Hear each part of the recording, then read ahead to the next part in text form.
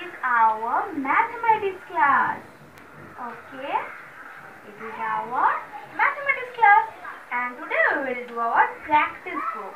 There was the chapter subtraction on number line. What is subtraction on number line?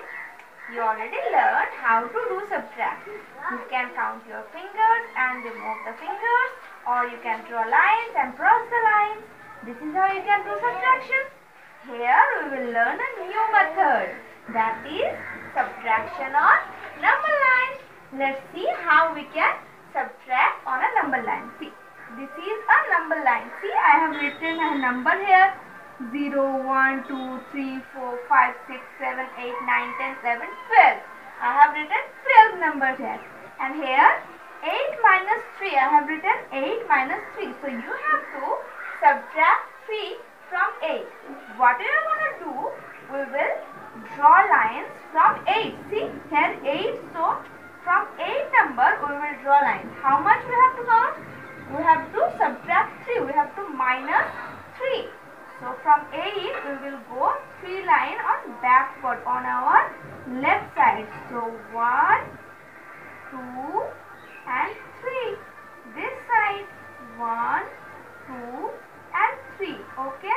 So from 8, from 7, then 6, then 5. We will count backward. So we will go on backward. Now which number we got?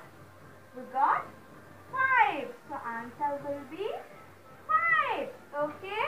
Hope you have understood. Let's do the next number. Here is 7 minus 4. That means we have to subtract 4 from 7. And we will do the same process here also. So we will count from 7 backward. How much? We have to count 4.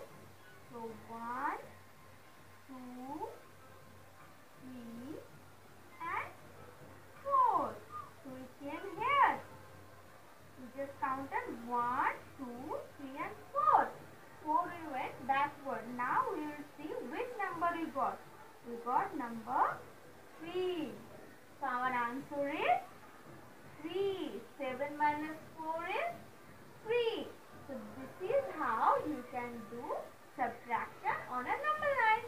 First you will draw a line, then you will put the numbers, then how much you have to subtract, you will start from first number and you will count backwards. See, I have started here from 7 and here I have started from 8.